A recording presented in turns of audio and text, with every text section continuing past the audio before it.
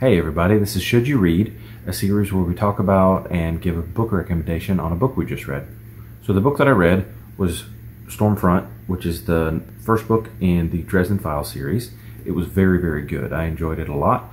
Um, this one I'd like to go into and tell you why I liked it and uh, recommend it to you guys. I think uh, most people will like it, and I'll tell you why. Be back in just a sec. Bye.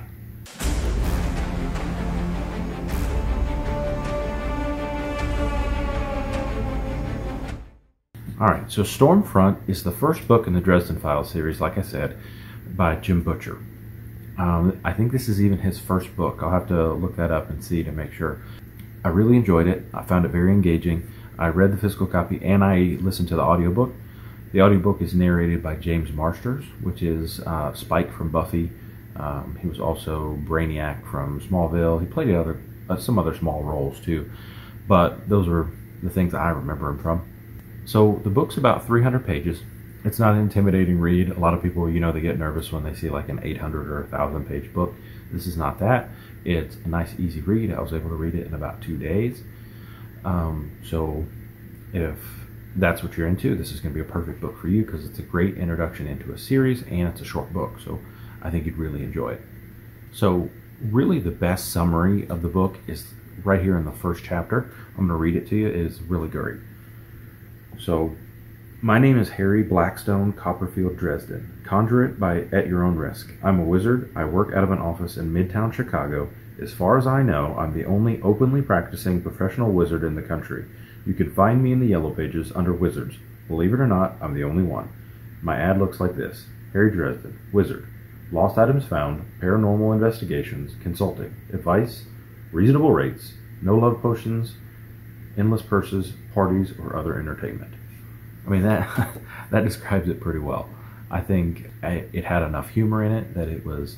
Um, I found myself giggling a couple times. It was serious at times, and um, it had some real stakes in it. You felt like for a little while that Harry wasn't going to make it. I mean, you kind of know he's going to make it because you got like ten other books in the series. I'm assuming if you read it for the first first time as the book came out, you would think, man, this guy might not make it if this was a one-off book, you know but really, really enjoyed it. Um, can't say much more about it. I found it very entertaining. It's not high fantasy where it's a whole new world.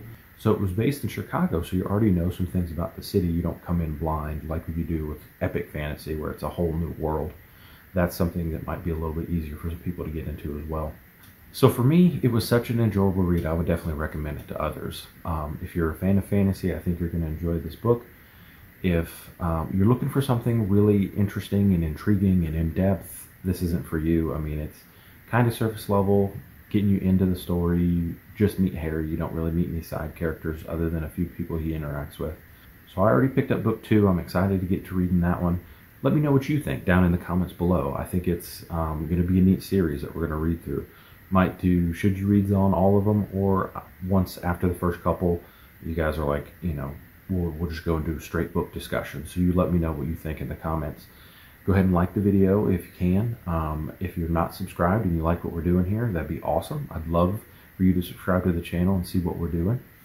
Also, there's going to be a link for the Discord down below. Doing some giveaways there, posting funny memes, kind of just chit-chatting back and forth. We'd love to have you as well. So let us know. The Amazon affiliate link will be down in the description, and I've signed up for Book Depository affiliate links too that I can try to get to you guys as well. So let me know if either one of those are a good option for you or if you want to do something else. I'd love to do that as well. It was great to talk with you, and we'll see you next time.